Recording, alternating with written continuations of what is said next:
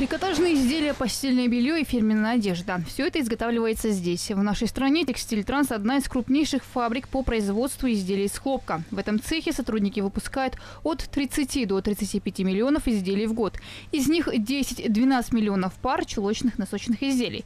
Суточная мощность производства полотна – 10 тонн. Фабрика была открыта в 2016 году благодаря финансированию Российско-Кыргызского фонда развития. У нас в планах э, идет второй этап. Мы уже составили э, все необходимые документы, подали заявку, и сейчас идет э, процесс рассмотрения нашего второго этапа, где предполагается, мы объем производства, во-первых, увеличим с 10 тонн до 30 тонн в сутки, добавим туда производство ткацких полотен, материалов, да, и добавим процесс крошения пряжи и волокна, что увеличивает наши возможности. Э, и э, в дальнейшем у нас будет возможность выпускать и меланжевые пряжи, которые на рынке сейчас э, как бы тоже очень востребованы. На 1 мая текущего года в РКФР было реализовано 2949 проектов. 82% из них осуществлялись в регионах, что составляет 54% одобренных средств. Напомню, что в сентябре 2014 года было подписано соглашение между правительствами Кыргызстана и России о создании фонда. В сентябре 2015 РКФР начал свою деятельность. По итогам прошлого года товарооборот Кыргызстана с Россией составил 462,2 миллиона долларов. Наша страна экспортирует в Российскую Федерацию продукцию легкой и текстильной промышленности, овощи, фрукты, изделия из кожи и отходы черных цветных металлов. В свою очередь Россия поставляет в Кыргызстан топливно-энергетические ресурсы, продовольственные товары и сельскохозяйственное сырье. Из них, экспорт, а, из них импорт составил 369,7 миллионов долларов и снизился таким образом на 13,9%, а экспорт составил 92,5 миллионов долларов и увеличился на 12,3%. Вопросы развития двустороннего взаимодействия, в том числе в рамках интеграционных объединений на евразийском пространстве, стали главными темами состоявшейся 24 мая в Сочи встречи президентов России Владимира Путина и Кыргызстана Садыра Джапарова. Здравствуйте. В следующем году будет отмечаться 30-летие основополагающего договора о дружбе и сотрудничестве между Кыргызстаном и Россией. За это время ситуация в межгосударственных отношениях наших стран укрепляется и развивается, подчеркнул Владимир Путин. По его словам, сегодня Россия уверенно занимает первое место в торговом обороте Кыргызстана. К сожалению, в прошлом году товарооборот несколько просел в связи с пандемией, известные причины.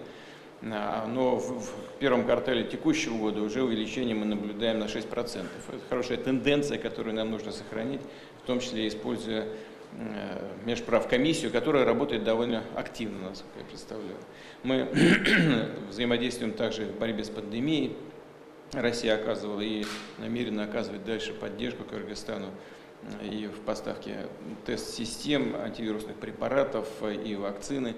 На встрече была затронута ситуация на кыргызско-таджикской госгранице. Владимир Путин отметил, что Россия внимательно и с большой тревогой следила за положением дел и позитивно восприняла намерение Кыргызстана и Таджикистана решить все спорные вопросы путем переговоров. Как вы знаете, совсем, совсем недавно у нас в Москве был с визитом э, президент Таджикистана. Э, мы обсуждали, конечно, и с ним этот вопрос. Э, позитивно восприняли намерение двух сторон – решать э, все спорные вопросы подобного рода в ходе переговоров. Э, уверен, что э, эта, эта цель может быть достигнута именно таким способом. Все, что от нас зависит, мы будем делать для того, чтобы помочь вам в решении этих вопросов. Мы понимаем, что это связано с жизнью конкретных людей, и прежде всего Кыргызстана, и Таджикистана, они думают о людях. Э, ну, нужно найти такой способ, чтобы э, решение всех этих вопросов, чтобы, э, чтобы он был долгосрочным и отвечал интересам обеих сторон. К этому мы тоже будем стремиться, всячески будем этому помогать. Я очень рад вас видеть в России.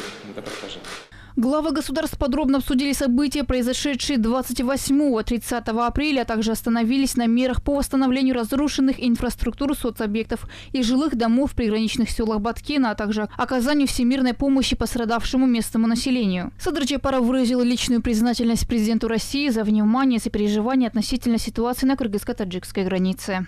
Рад вновь встретиться с вами. Выражаю благодарность за приглашение.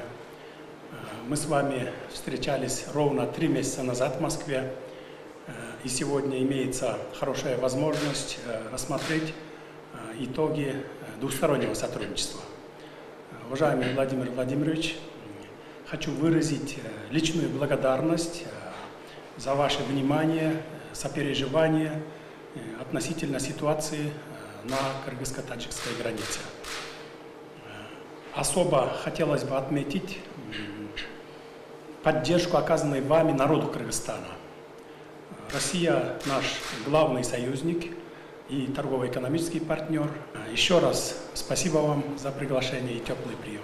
Большинство поднятых тем на встрече двух президентов – это именно те вопросы, которые сейчас актуальны для кыргызской стороны. Специалисты говорят, что российская сторона ясно озвучила свою позицию по приграничному конфликту и выразила готовность в ее урегулировании. А, для нас очень важным и принципиальным является твердая поддержка российской стороны нашей позиции о том, что такие вопросы впредь и далее должны решаться исключительно мирными политико-дипломатическими средствами. И, и об этом, я думаю, еще раз было подтверждено в ходе встречи. В то же время, я думаю о том, что кыргызская сторона была информирована о твердой Эм, позиции именно решения вопросов исключительно мирными средствами. Она была доведена и до таджикской стороны, и получены определенные гарантии, заверения о том, что впредь и таджикская сторона будет применять именно эту методологию решения каких-либо возникающих между странами вопросов. Кыргызстан и Россия достаточно активно сотрудничают в рамках международных организаций, среди которых особое место занимает взаимодействие в ЕС и ОДКБ. По словам политологов, безопасность является одной из главных тем и направлений в партнерских отношениях наших стран. И ОДКБ обладает реальными возможностями для решения задач по обеспечению региональной и глобальной устойчивости. На себя ответственность за а, безопасность, стабильность южных границ СНГ, то есть это граница Центральной Азии. И а, в связи с тем, что вот в сентябре предстоит, в сентябре-октябре вывод американских военных из Афганистана, а, безусловно, те, те силы, экстремистские, террористические, они представляют угрозу как и для Кыргызстана, как для России, так и для всех э, стран нашего региона. А, поэтому я думаю, что вот, наверное, один из основных аспектов э, встречи двух президентов и заключался а, в обсуждении вопросов именно обеспечения региональной безопасности. Э, и Россия, и Кыргызстан, мы являемся членами ОДКБ, и вот это, именно эта организация занимается вопросами э, безопасности центральноазиатских границ.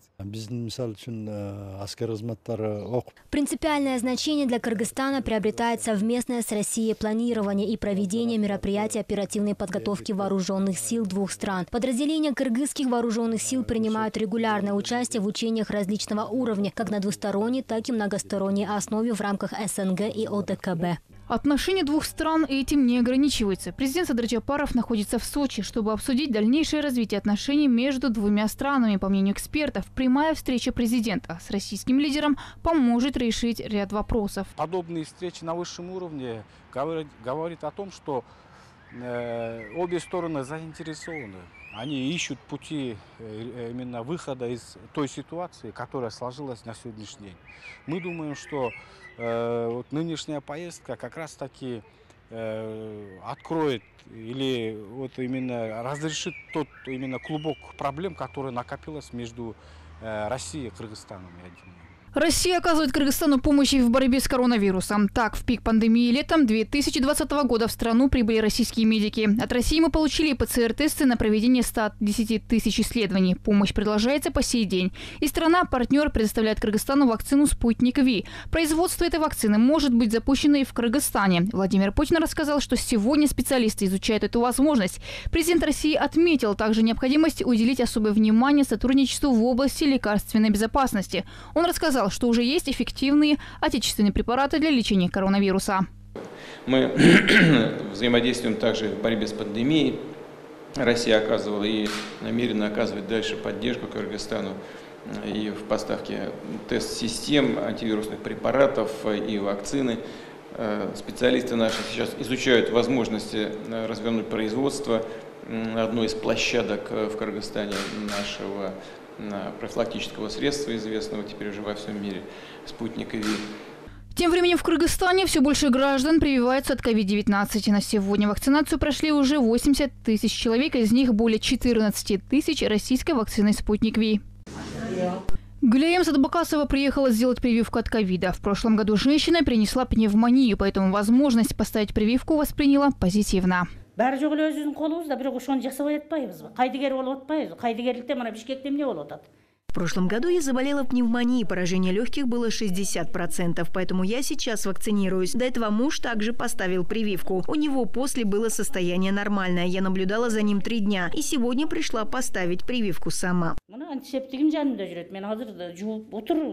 Чыгам бүт эме кылып жүрөм В этом центре семейной медицины прививки получили уже более 500 человек.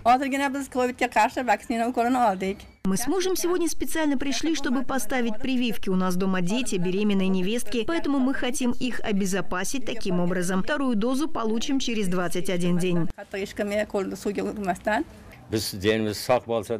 Я отказался от вакцины Синофарм, ждал спутник. Как только узнали, что уже прививают спутником, сразу пришли. Сейчас ждем полчаса, после этого едем домой. Нам важно здоровье нашей семьи. На сегодняшний день в Вож доставлено 2100 доз вакцины «Спутник Ви». На данный момент вакцинацию прошли 900 человек. Повторную прививку получили более 20 человек. Было недопонимание. Кто-то хотел привиться синофармом, кто-то только спутником. Мы провели разъяснительные работы. Разницы нет. Вакцину «Спутник» сейчас получают люди старше 65 лет и люди с хроническими заболеваниями. Сейчас люди приходят прививаться сами. Ожидается решение вопроса и о производстве вакцины «Спутник Ви» в Кыргызстане. Россия поддерживает кыргызстанцев в совместной борьбе с пандемией, поставляя тест-системы, противовирусные препараты и вакцины. В случае успеха у Кыргызстана появится прекрасная возможность производить не только вакцины от коронавируса, но и против других вирусов, тоже отмечают специалисты. Биофабрика, лаборатория. Лично я, как специалист, поддерживаю, чтобы у нас была открыта лаборатория по производству вакцины. О своей поддержке говорил президент России, что вакцина «Спутник Ви» будет производиться в Кыргызстане. У нас есть все для этого, не хватает только технологий. Если бы у нас построили биолабораторию, мы могли бы производить вакцину не только от ковида, но и от других вирусов. В ближайшее время в Кыргызстан ожидается поставка еще более полумиллиона доз вакцины «Спутник Ви». 500 тысяч доз вакцин «Спутник Ви» поступят в качестве гуманитарной помощи от России Кыргызстану. Еще 80 тысяч доз Кыргызстан закупит дополнительно. Россия в Кыргызстане и наоборот Кыргызстан в России. Кунус Кадатаева, Чингис Токтурбекулу, ЛТР. Итоги недели. Спасибо, Спасибо, уважаемый Владимир Владимирович.